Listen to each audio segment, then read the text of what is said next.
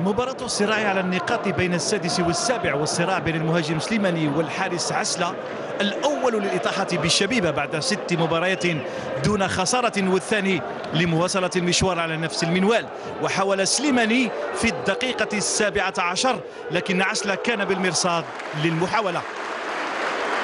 لكن الكرة الثابتة من بن علجية أسقطت عسلة في الدقيقة التاسعة والعشرين وأعلنت عن هدف رائع لشباب بلوزداد الذي تقدم في النتيجة وفجر مهدي بن علجية فرحة كبيرة فوق المدرجات. بعد ذلك ثنائية جميلة بين بن علجية وسليمان الذي انفرد بالحارس عسل الذي أنقذ الموقف وأخرج الكرة إلى الركنية في الدقيقة الثانية والثلاثين. رد الشبيبة جاء في الدقيقة الثامنة والثلاثين بعد تنفيذ مخالفة وبلمسة واحدة مقداد. يسجل ويعدل النتيجة للفريق الضيف بطريقة خادعت الجميع. فأعاد المباراة إلى التعادل الإيجابي وعلى ذلك انتهى الشوط الأول بين الفريقين.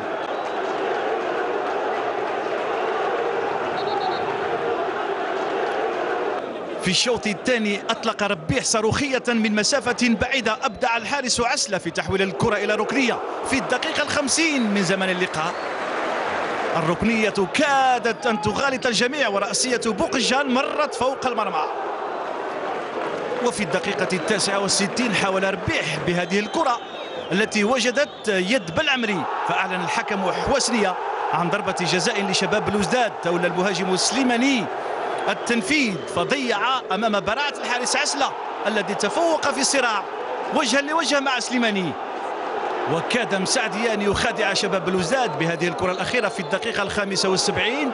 فأنقذت العارضة الحارس شويح لينتهي اللقاء بالتعادل. واحد مقابل واحد وسبع مباريات دون خسارة لشبيبة القبائل.